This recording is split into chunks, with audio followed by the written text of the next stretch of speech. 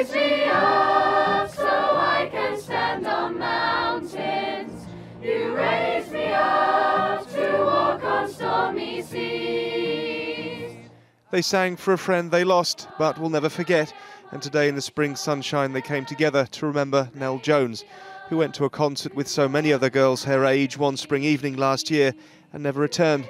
For her family, the time that has passed has done little to lessen the pain.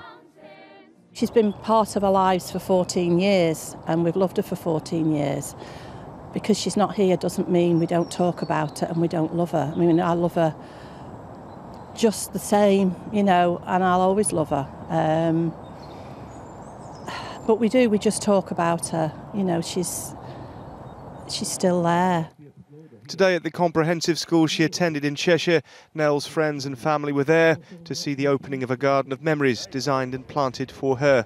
With a river of pebbles, each one representing a memory of Nell left there in her honour.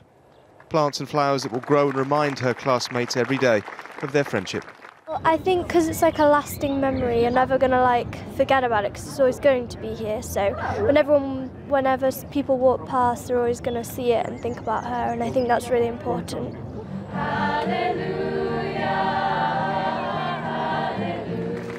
Manchester's mayor, who was at today's ceremony, says the young people who were the targets of last year's attack will need growing support in the days to come.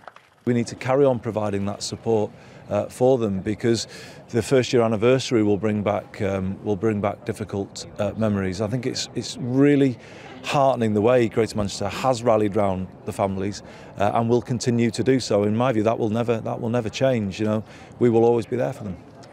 For Nell's mother, who helped plant the garden, just to know there's a place dedicated to her memory is a comfort and a reassurance. It's there for a friends. It's you know, it's just you know, we can come down and, and as it and as it grows and everything, you know, is in bloom and everything, it'll just be fantastic. Nell won't be forgotten. Her friends may grow up, but she will always have a place in their hearts. Damon Green, ITV News, in Cheshire.